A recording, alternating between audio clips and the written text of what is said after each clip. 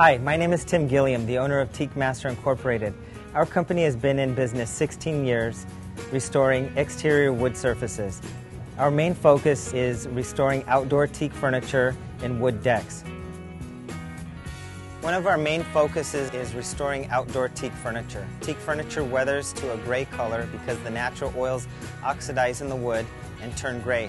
To get it back to new condition, we use a process of cleaning, thorough sanding. We sand everything, the top, the bottom, in between the slats, so the surface is smooth and all dirt, oxidation, and mold is removed from the furniture. After that, we clean the furniture with a wood brightener to promote the color, kill any mold that may be embedded in the wood, and prevent it. After that, we seal the teak with teak sealer. The sealer dries matte and looks very natural. We're here in the Hollywood Hills at a recent project we just completed uh, restoring an Ipe deck. The client contacted us because he was unsure what type of wood it was.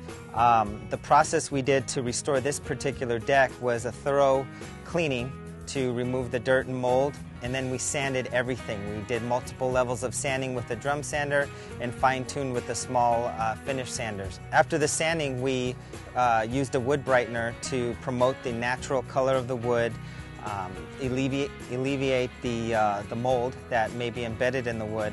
And then we sealed it. We hand brushed an oil-based penetrating sealer specifically formulated for Ipe wood. Uh, as you can see, restored it back to its natural color. There was no pigment in the sealer. I found Tim and his staff to be incredibly professional, very well versed, and uh, very knowledgeable about all aspects of my Ipe wood deck We've been using them for several years now, and I can tell you we wouldn't use anyone else.